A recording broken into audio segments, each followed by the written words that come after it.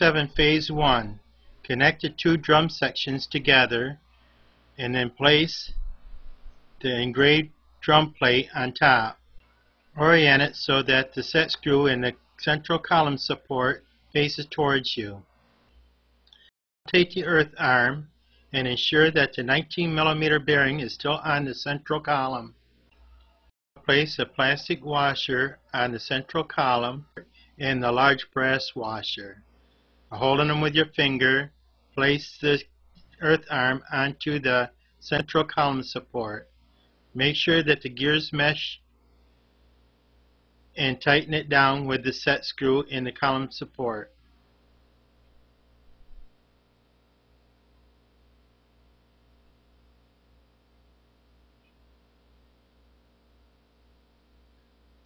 Now when you move the arm back and forth, the gears in the engraved drum plate should rotate. This step requires you to install the central shaft so that a certain amount of it extends below the engraved plate. Now you can use a scale, but I'll show you how you can do this without one. Now with the set screw sticking out of the long collar so it don't roll away on you, set it on its side.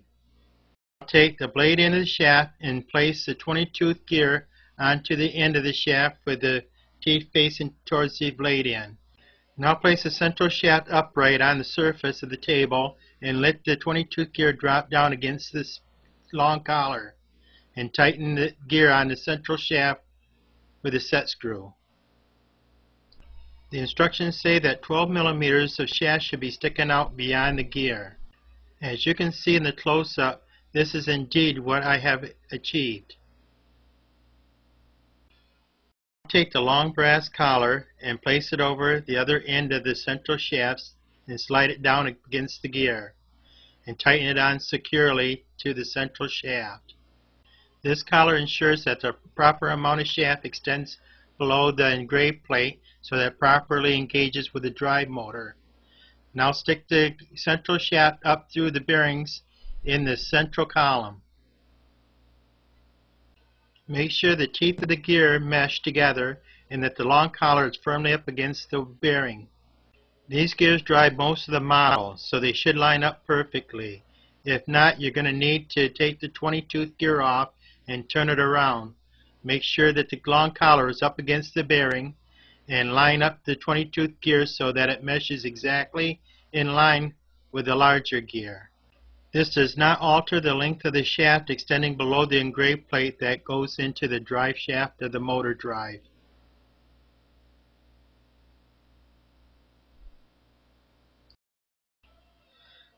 Place the two curved drum sections leaving a gap for you to reach your hand into. Now with the year counter facing towards the front, place the engraved plate on top of the drum sections. Let the central shaft drop down. As you can see, you can reach under the model and you can lift up on the central shaft. Place the brass spacer onto the central shaft, followed by the small plastic washer. Now's the time to put the long chain on. Before we do though, you have to orient the moon track. The high side has to be away from the central shaft.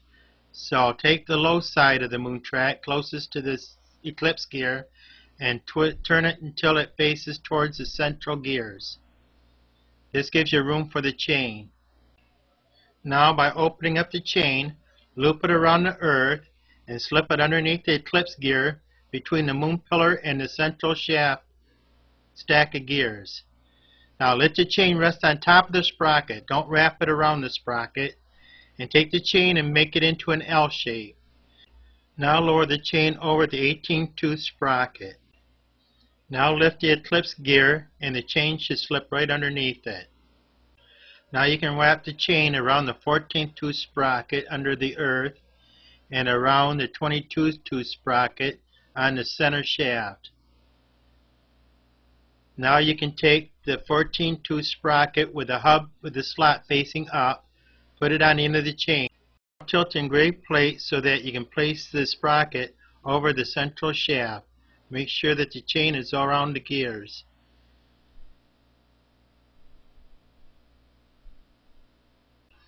Phase 2, place the locking spacer on the central shaft so it locks with the 14 tooth sprocket. Place the other 14 tooth sprocket over the short chain and wrap it over the 18 tooth sprocket and set it over on top of the locking collar. Now reach underneath the model and push up on the central shaft. Make sure that the gears are meshing underneath and that the upper sprocket locks into the locking collar. Take in an Allen wrench, lock the set screw on the locking spacer onto the central shaft. You have now completed assembling the two chains on their sprockets.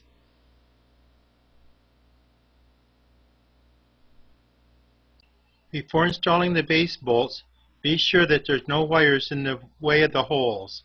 What I did was tuck one of the wires up and underneath the motor. This will keep the wire out of the way and it won't get pinched.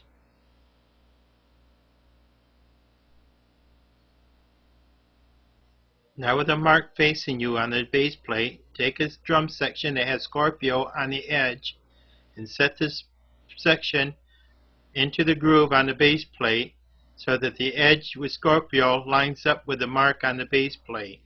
Now set the other drum section onto the base plate in the groove and take the engraved drum plate and set it on top of the drum sections so that November 22nd lines up with the seam between the two sections. Now you'll have to turn the shaft so that the tab on the shaft falls into the groove in the shaft of the motor drive. Now make sure the marks are lined up with the seam. Then you're ready to take and install the bolts. Carefully tilt the model up, thread the bolt through the bottom hole, and it should line right up with the threaded hole in the engraved plate up above.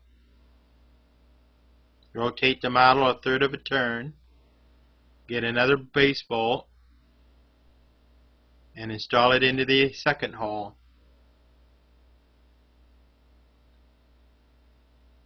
If you use a short Allen wrench, you won't have to tip the model as far as you would with a long Allen wrench. Now insert the final bolt, making sure the plates are tight together against the drum sections and insert the third bolt. Now with all three bolts in you can tighten them down securely. Now install the date pointer. It is easier to do this before putting the gear for the sun on as it says in the written instructions.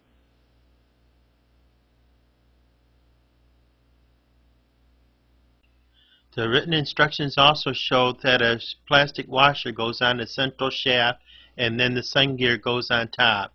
But if you do this, you can see that the teeth do not line up quite right with its mating gear. Now with the spacer removed, you can see when the sun gear is on that it lines up a lot better with its mating gear. This completes stage 7 of the assembly of the Earth, Moon, and Sun orbiter.